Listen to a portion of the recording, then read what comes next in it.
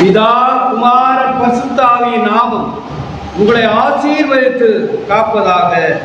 ஆமே நம்முடைய பிதாவாகிய கடவுளிடமிருந்தும் ஆண்டவராகிய இயேசு கிறிஸ்துவினிடமிருந்தும் உங்கள் எல்லோருக்கும் கிருபையும் சமாதானமும் உண்டாவதாக.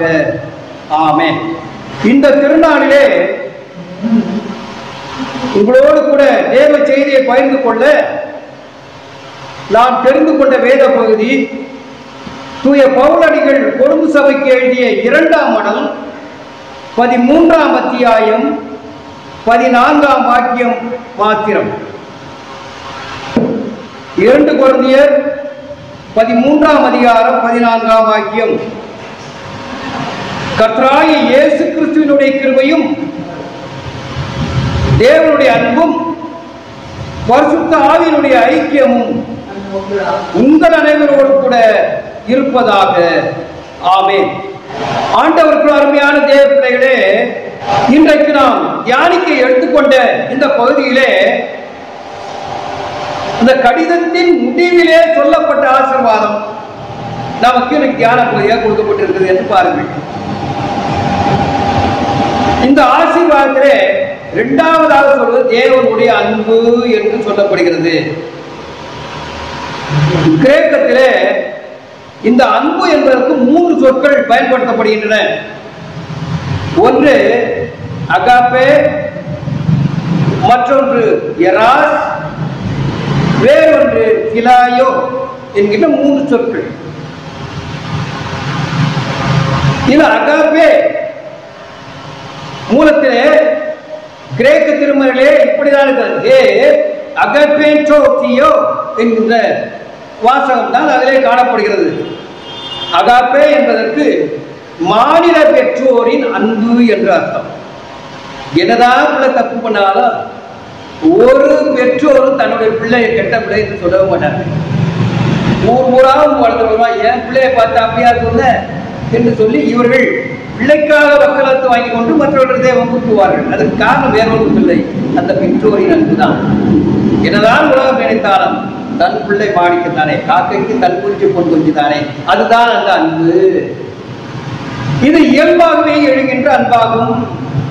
கடவுள் அன்புள்ளவர் தனது அன்பினை வெளிப்படுத்தத்தான் இந்த உலகத்திலே மனிதனை படைத்தார்.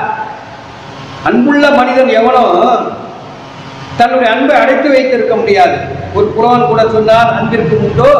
அடைக்கும் தாழ் என்று. கடவுள் அன்புடையவரானால் அவரது அன்பினை அவர் தானே அடைத்து வைத்துக் கொண்டிருக்க முடியாது மற்றவரிடத்திலே பகிர்ந்து கொடுக்க வேண்டும். அதுதான் உண்மையான அன்பு.